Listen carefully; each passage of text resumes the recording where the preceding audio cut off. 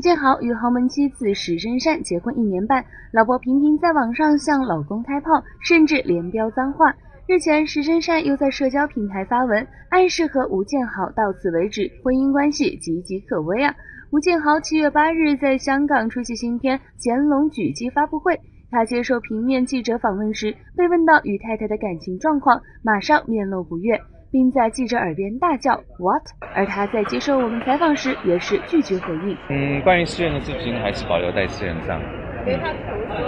对，所以关于私人的事情呢，还是保留在私人。谢谢。虽然这是你们夫妻俩的私事，但如果你不回应，是不是反而会让大家有更多的想象空间呢？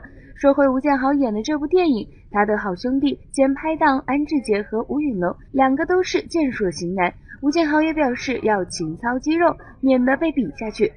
啊，我们我相信我们每个人都已经私底下是那种在在自己在训练，自己在练。我我啦，我自己本身还是有在保持维持，因为跟他们两个壮汉一起拍的话，我必须要呃维持一个比较好一点的状态。搜狐视频娱乐播报，香港报道。吴建豪与豪门妻子石珊珊结婚一年半，老婆频频在网上向老公开炮，甚至连飙脏话。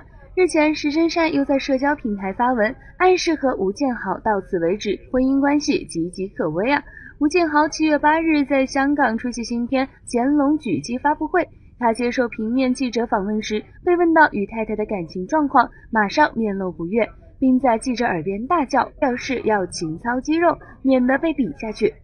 啊，我们我相信我们每个人都已经私底下是那种。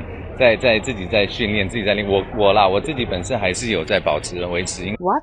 而他在接受我们采访时也是拒绝回应。嗯，关于私人的事情还是保留在私人上。对，所以关于私人的事情呢，还是保留在私人。谢谢。虽然这是你们夫妻俩的私事，但如果你不回应，是不是反而会让大家有更多的想象空间呢？